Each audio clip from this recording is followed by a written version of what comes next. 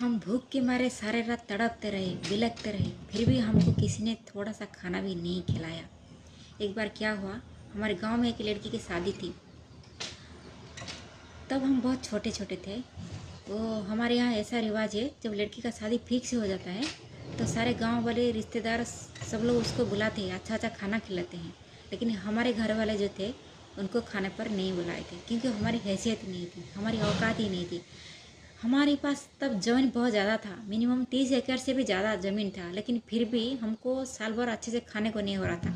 हम दूसरों के बच्चे जैसे कपड़ा नहीं पहन पाते थे। वो बच्चे जैसे रह रहे थे, हम वैसे नहीं रह रह पा रहे थे। क्योंकि मेरे पापा को खेती करना नहीं आता था और जो इन्वेस्ट करते हैं पैसा खेती में लोग लगा के, वो पैसा हमारे पास नहीं होता था। इस, इसी वजह से हमको बहुत दिक्कत होता था। हम क्या करें? सारे बच्चे ऐसे गाँव में क्या होता है, जब शादी फ़ंक्शन होता है, सारे बच्चे ऐसे ही चले जाते हैं, बिन बुलाए मेहमान बल के जाते हैं, खा के आराम से आ जाते हैं। हम मेरे पापा किधर भी नहीं छोड़ते थे। वो बोलते थे, हमारी हैसियत नहीं जब किसी को बुला कर खिला, खिलाने की। तो हमको ज़रूरत नहीं है किधर जाके खाने के लिए। वो नहीं छोड़ते थे, हम किधर भी नहीं जाते थे। बस हम घर की बाहर से खड़े होकर देखते थे, सारे बच्चे हर शादी ब्याह में जाते थे, ऐसे डांस कर करके, मस्ती कर करके जाते थे। आज हमने ये खाया, वो खाया, वो अच्छा था, वो चिकन अच्छा था, वो पकौड़ा अच्छा था, ऐसे बोल बोल के जाते थे। हम बस ऐसे करके देखते थे, बहुत दुख लगता था। अरे यार, हमारे घर में तो नहीं बनता अच्छा खाना। खास हम भी जाते उनके साथ, हम भी अच्छा खाना खा के आ जाते। हम ऐसे ही सोचते थे, लेकिन पापा तो नहीं छोड़ते थे। एक दिन क्या हुआ मेरी मम्मी बोली पापा से हम तो बच्चे को अच्छा खाना नहीं खिला पा रहे। आ, एक बार परमिशन दे दीजिए वो बच्चे जाएँगे बच्चे के साथ खा के आ जाएँगे। वो किसी को मालूम नहीं पड़ेगा।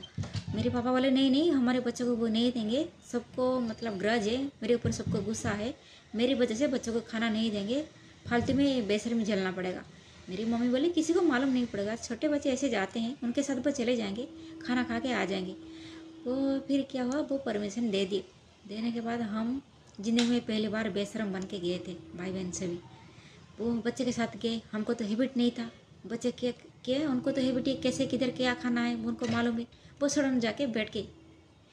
हम ऐसे ही मतलब स्मार्ट नहीं हो रहे थे, ऐसे जाके ऐसे इधर खड़े होते, उधर खड़े हो रहे थे। फिर जाके बच्चे के बैठ के खा लिया। हम उधर, हम बोले उधर उनके घर वाल के सामने हम इधर इधर इधर हुए। हम सोचे वो बैठने के लिए बोलेंगे। वो जान बुझ के हमको इग्नोर किया। उधर जाओ, वो साइड में जाओ। इधर जगह नहीं, उधर जाओ। अभी नहीं, दूसरे बच्चे में आके बैठो। तो ऐसे हमको गुस्सा करके बात कर रहे थे। हमको मालूम पड़ रहा था, बहुत ख़राब लग रहा था।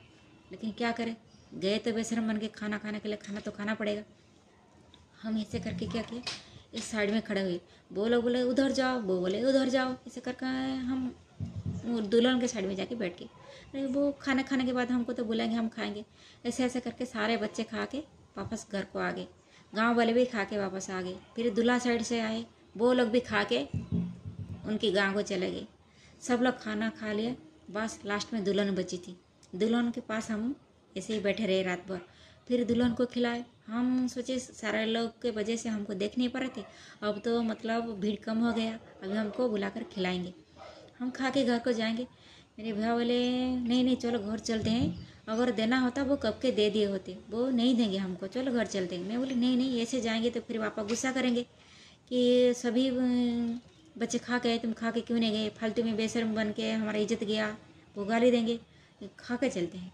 वो ऐसे चुपचाप बैठ गया मेरे पास।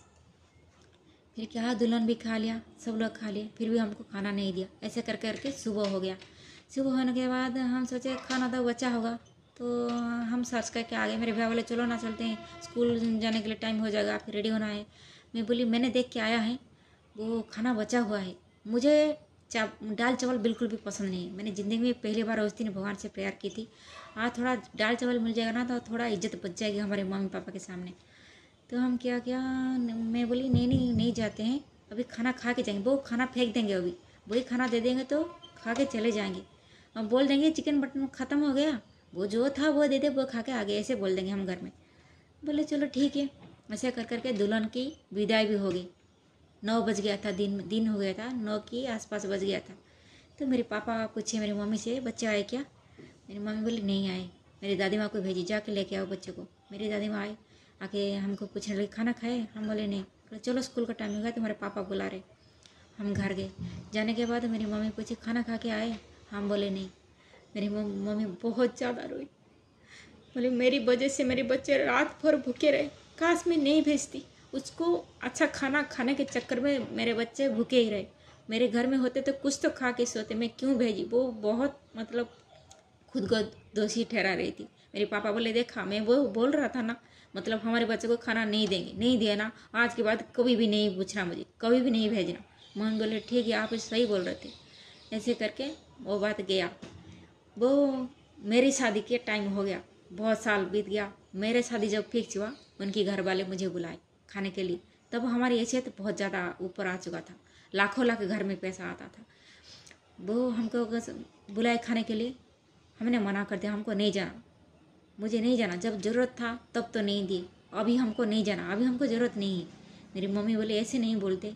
ये तो रिवाज है। जब शादी फिक्स हो जाता है तो सब तो जाते हैं, तुम खाओ ना खाओ, तुम एक बार जाके आ जाओ उनके घर पर। नहीं तो कल को अगर कुछ दिक्कत होगी ससुराल में, कुछ तकलीफ़ होगी तुमको तो लोग बोलेंगे अच्छा हुआ लड़की, अच्छी नहीं थी, घमंडी थी, गुरुर ज़्यादा थी अच्छा हुआ, ऐसे लड़के साथ ऐसे होना चाहिए था।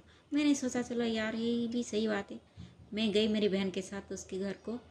जाने के बाद वो खाना दिए, खाना गले से नहीं उतरा मेरा। मैं वही रात को याद कर रही थी। मेरी आँखों में आँसू आ रहे थे।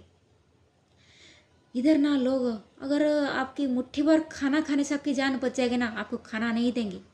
वो देखेंगे मुट्ठी भर खाना खाने के लिए आपकी औकात है, आपकी हैसियत है, अगर होगा तब देंगे। चाहे आपकी पेट में भूख हो या ना हो, उनको कोई फ़र्क नहीं पड़ता। लेकिन खाना खाने के लिए ना, आपकी हैसियत होना ज़रूरी। ऐसे ही दुनिया का रिवाज है, ऐसे ही दुनिया चलती है।